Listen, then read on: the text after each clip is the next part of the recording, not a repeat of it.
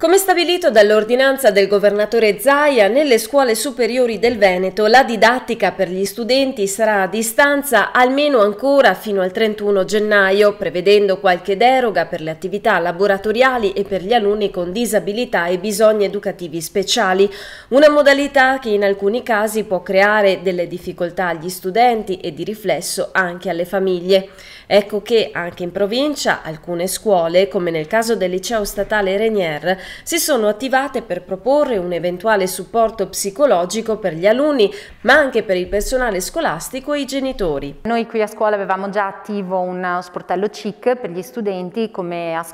punto di ascolto, ma grazie ad uno speciale bando del Ministero ehm, ideato proprio per fronteggiare l'emergenza Covid, ehm, abbiamo potuto attivare il servizio della psicologa d'istituto e a partire dalla settimana prossima il servizio sarà attivo attivo, attraverso l'email i ragazzi si potranno prenotare e eh, con, comunicheranno direttamente con la, la psicologa. Gli incontri avverranno in modalità a distanza, un nuovo servizio disponibile fino a giugno che sommato al potenziamento didattico reso possibile grazie sempre a specifici bandi attivati nell'ambito dell'emergenza Covid potrà rappresentare un'ulteriore opportunità per i giovani. Servirà per aiutare i ragazzi in questo momento molto difficile in cui si vedono comunque privati di tutto che fa parte della loro vita, la socialità, il venire a scuola, il vedere gli amici e anche il seguire la scuola in modo completamente diverso che magari da un punto di vista didattico può anche essere mh, non cambiato, ma da un punto di vista personale ed emotivo assolutamente sì.